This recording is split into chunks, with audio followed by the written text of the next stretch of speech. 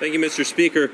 In a report commissioned by our government, Mr. Emerson confirmed that the Canadian space industry is well positioned to take advantage of emerging opportunities, succeed commercially, and contribute to the public good.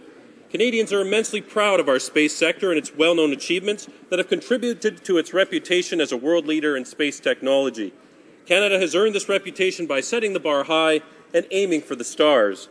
Can the Minister of National Defence update this House on the latest developments in the space sector? Uh, the Honourable Minister of National Defence. Thank you, Speaker. I uh, thank my BC colleague for the very timely and relevant question. This morning, not one but two satellites were successfully launched as part of an international effort. The Near Earth Objective Surveillance Satellite, uh, NEOSSat, as well as Sapphire, are Canada's first dedicated operational military satellite. These are achievements that every Canadian can be proud of proof that Canadian ingenuity and leadership in advanced space technology are indeed out of this world.